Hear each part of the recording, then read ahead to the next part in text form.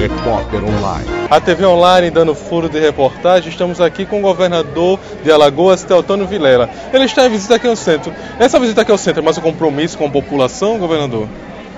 É, nós estamos indo à Secretaria de Gestão participar de uma, uns eventos que estão acontecendo de capacitação de servidores públicos.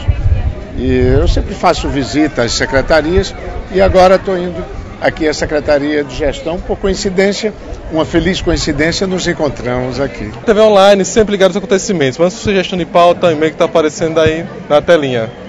Repórter Online.